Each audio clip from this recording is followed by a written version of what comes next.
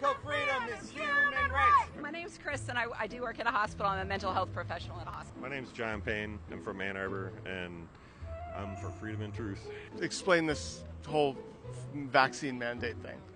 Well, I think that the whole country was put under a form of mind control, trauma based mind control. Why do you think so many people are falling for this ruse? Uh, because you ought to be able to trust what you hear on TV. So they're, they're holding your family hostage to make you get the vaccine. Some people feel that way, they really do. Some family members have bought into that. Like, if you're not vaccinated, I don't want you around my grandma or I don't want you around my child. I, I can't tell you how many people have told me, you know, I can't see my, I can't see this person because I'm not vaccinated, and it's just sad. You ever uh, familiar with this term? It's called Dunning Kruger.